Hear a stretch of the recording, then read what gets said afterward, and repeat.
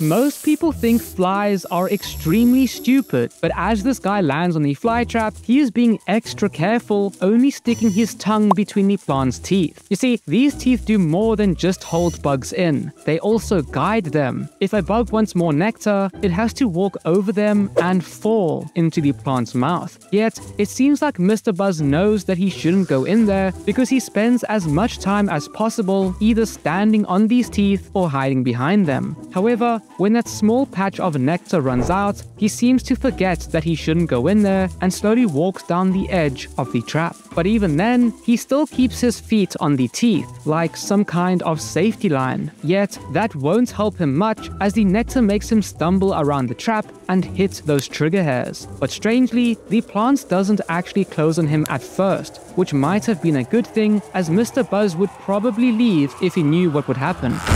Send this to Buzz Lightyear.